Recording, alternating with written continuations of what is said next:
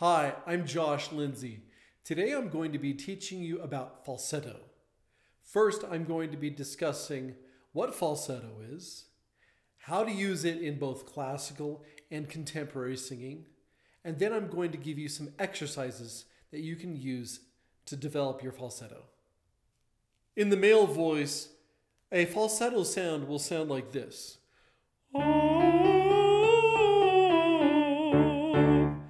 As opposed to a full voice sound, which will sound like this.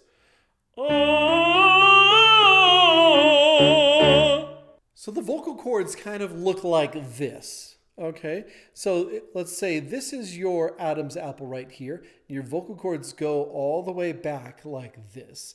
And these right here are would be your arytenoid muscles. So your vocal cords don't open and close like this. They're fixed like uh, in this position right here.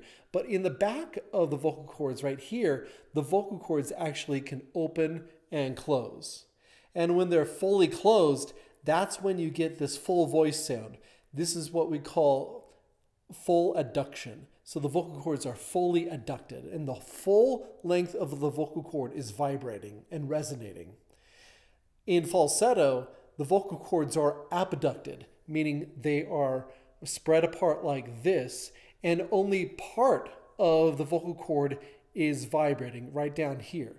And so you don't get the full resonance and the full vibration of the vocal cord. So it'll sound like this. Ah, ah, ah,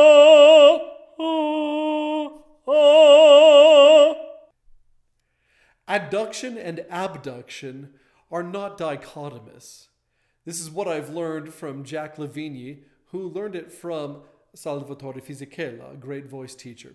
So we have full falsetto like this, truly abducted, and then we have fully adducted vocal cords, which would be full voice, and then we would have somewhere in between. And this somewhere in between would be called voce di lontano, okay? The voice from far away. So this is what it would sound like if I sang true falsetto, which would be and this is fully adducted, full voice.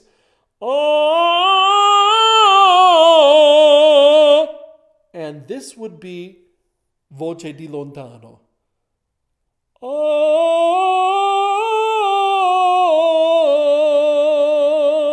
In classical singing and opera, basses and baritones use a true falsetto as a comical gesture. They're singing almost like in a female register, right? This is often happening when they're impersonating a female. Tenors often use voce di lontano in the upper register to have a sottovoce high note. In contemporary singing, voce di lontano is often used. For example, in John Legend's song All of Me, he sings, Cause I give you all of me.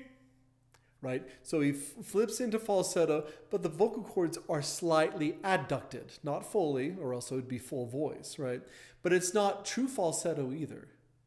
Another example is the song Yellow by Coldplay, and it goes like this Your skin, oh yeah, your skin and bones turn into something beautiful. So it's not fully adducted, or else it would be Your skin, right? That would be full voiced. And it's not true falsetto either. Your skin. Your skin and bones. That would be true falsetto. That's not right either. So we want something adducted. Okay, slightly adducted. Your skin, oh yeah, your skin and bones turn into something beautiful. Like that. In vocal training, falsetto exercises are used as a stepping stone to sing uh, full voiced high notes. So we start right here, and if we go, that would be full, or that would be full falsetto, true falsetto, totally abducted vocal cords. Then if the next step would be to adduct them slightly, okay, not completely. So this would be like that. And then I would fully adduct the vocal cords like this for full voice. Going ah. But most singers can't do that when they're first starting out because their arytenoid muscles aren't strong enough. But over time, as you practice these exercises, then your arytenoid muscles will get stronger and then you'll be able to sing into the upper register without your vocal cords breaking apart. Now for the moment you've all been waiting for.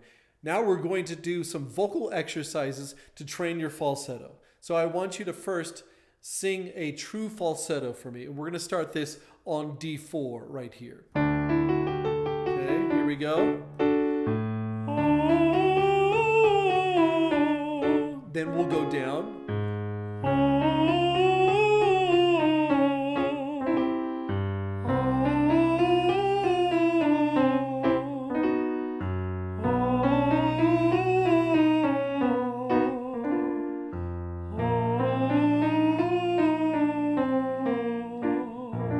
And most people stop at B flat right here. If you can go down um, below B flat, then that would be great. Let's try it.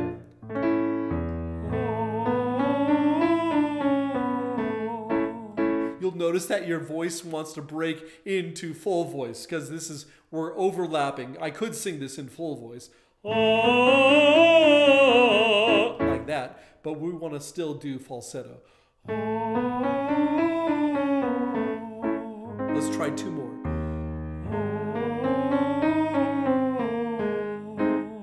And one more.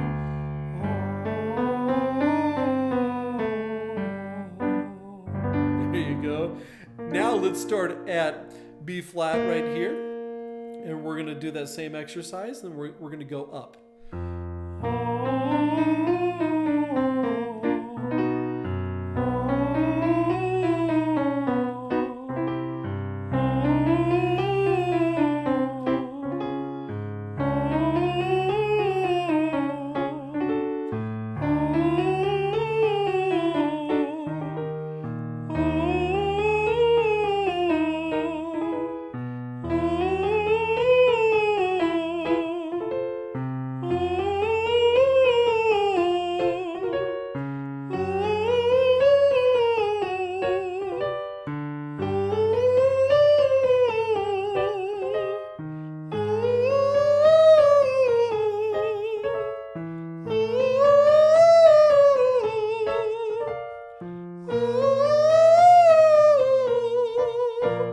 So most male singers stop right here on this F. Okay, so this is F5 right here, and it's a little bit high, right? So, but if you can go higher than that, that would be amazing. But if you can't, don't get down on yourself. It's very typical to stop on F5 right here. Okay, so let's go up from here. Let's try to go to F sharp. do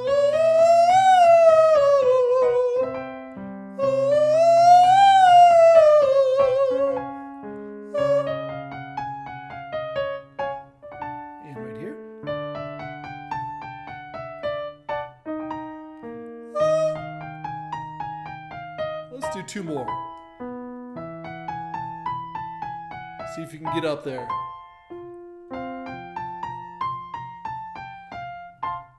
So that right there, that would be um, C6 right there. That would be a soprano's high C. So that would be super high. I've only heard a few people uh, that were able to sing a C5. Uh, um, you know, if fully grown man that would be able to sing C5. Very rare. Okay, typical of this this F, this F5 right here. Okay, yeah, C6 is maybe beyond most people. Um, now let's uh, go back down right here, and then we'll do um, five note scale on ah. But this time we're gonna um, we're gonna slightly adduct the vocal cords Bring them a little, a little bit closer together.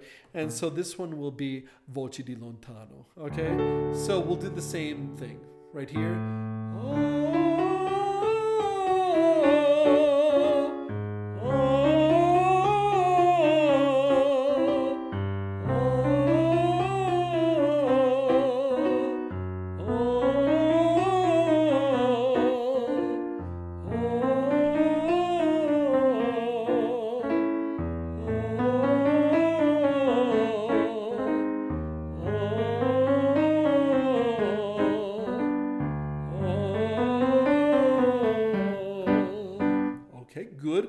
let's start here on B flat and then we'll go up. Okay, here we go.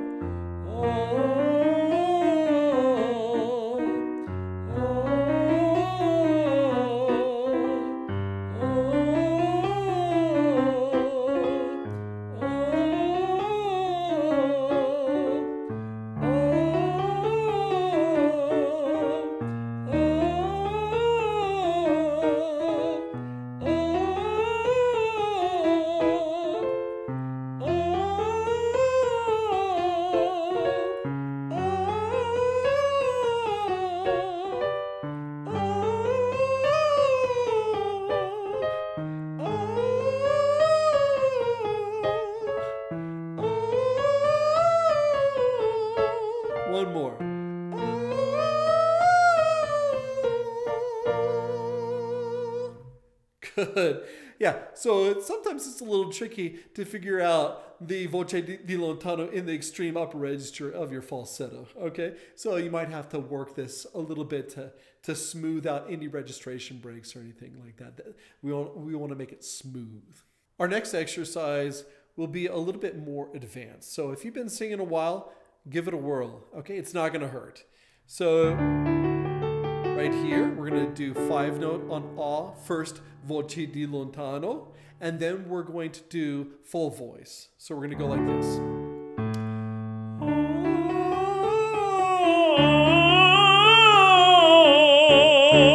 Okay, switching back and forth like that. Okay, let's try this right here.